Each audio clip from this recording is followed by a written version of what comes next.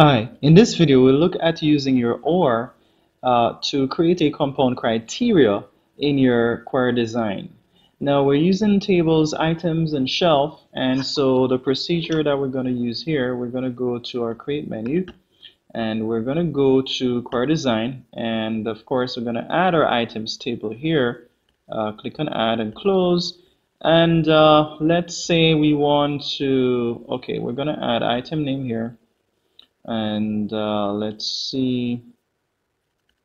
Okay item name and maybe want to find the quantity as well as the shelf ID alright so what we're going to do with this one is let's say we want to find all those items that are on certain shelves okay? Let's say maybe shelf let's look at the shelf table again. Okay zero one let's look at this one all right, so in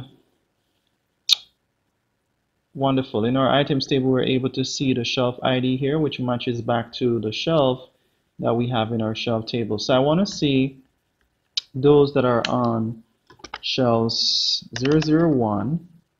So I have to put that in quotation here. Notice I'm actually in the criteria row.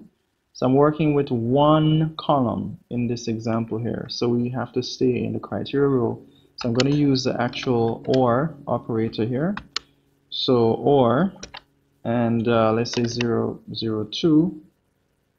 So what I want to see here is I want to see all the items that are on shelves 1 and shelves 2 or shelf 2. So this is the OR operator. So it's going to show me a listing of those that are on shelves 1 as well as those that are on shelf 2 because they can't if I was using the AND operator essentially what I would be saying is I want to see those that are on both shelves. But obviously that wouldn't be uh, very practical or possible. So in this case we're using the OR operator because we want to show you how that works.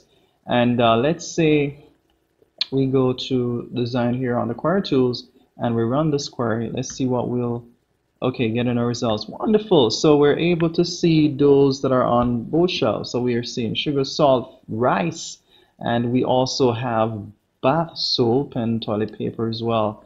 And these are on shelves 1 as well as shelves 2.